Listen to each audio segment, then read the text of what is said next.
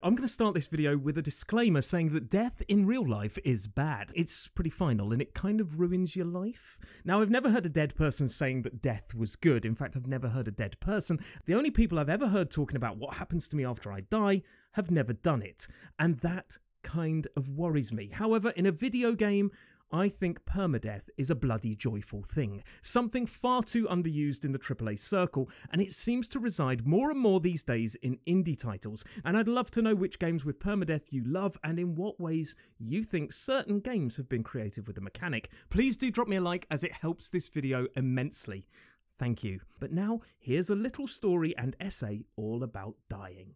We've all been there, right? You know, you're desperate to play something, there's a stack of games you could play, but nothing that really stands out as the one that will scratch that itch. It's kind of like that problem where you look into the fridge, you know, the first world problems, and you say, hmm, my fridge is overflowing with food, but there's nothing that I want to eat. It happened to me the other day, the, the, the game thing, not the fridge thing.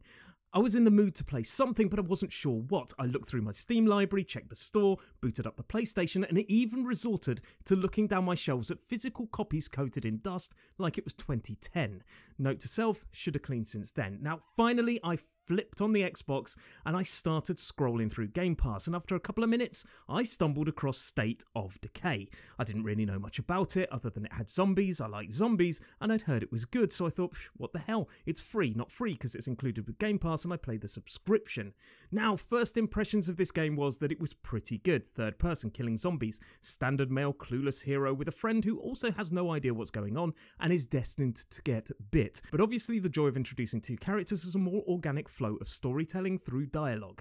Tutorial was pretty well executed, you meet a bunch of other survivors who know more about the world we're in, your couple of quests come your way, you meet another playable character who is a female soldier or, or something, box tick to enable choice of gender, go back to the other survivors who are now dead, they turn into the undead and bite aforementioned friend. Standard zombie plot, to be honest. The graphics are pretty decent and they hold up, especially bearing in mind that it released in 2013 and while I think it's been updated a bit, some of the facial animations are a little bit ropey, and there was a little bit of clipping with some zombies coming through fences, for example but it didn't put me off. And I have to say, overall, any issue was kind of forgivable. Not only the age or the fact it was an indie slash double A title, it just felt more raw, somewhat B movie esque. Now, this video isn't a review of State of Decay. I might have to make one in the future, but at this point in the experience, I would have said it was good. A good, enjoyable game that was fun and playable despite its age, and that I loved some of the mechanics like the balancing of tasks to help outposts, or that resources were finite. In short, it was good, but it didn't do anything surprising. And then it completely surprised me how wrong I was. It went from being a good game to being a great game. I went on a mission with my little hero, and there was this massive fat zombie who I tried and failed to kill, and then it ripped me in two. I died. I thought, eh, well, I'll just pick up at the last checkpoint, carry on. But then I found myself back at the outpost, and it took me a second to realise that my character was dead. Dead, dead. Their story was over. Now I could play as other characters, but not the one I had been playing as. The friend who'd been bit, a story tied to my characters, was also gone. In short, State of Decay had some character specific permadeath mechanics, and I was like, oh, hello, and I yelped for joy because I had no idea this was coming. Now, unlike many other zombie games like something like Dead Island or Dying Light, which once you're dead, it allows you to respawn at the last checkpoint, State of Decay punishes you. It does not forgive your mistakes, your incompetence, and I love it. I talked about it during a video I made on Project Zomboid, for me, the perfect zombie survival game.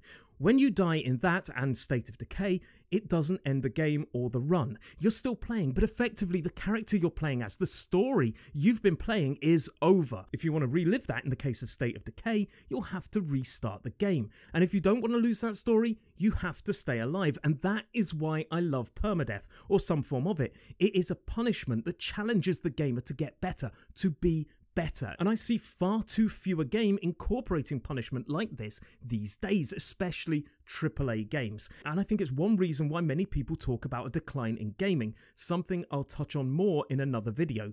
But simply put, Punishment has been there in gaming since the start. When games first hit arcades, you put your money in the slot and play as long as you could, but failing in the game meant you lost your money. Ouch. Then other earlier games meant dying took you right back to the start of the level, grueling. And yes, I do see the benefits of extra lives or checkpoints, but they came at a price of making games easier.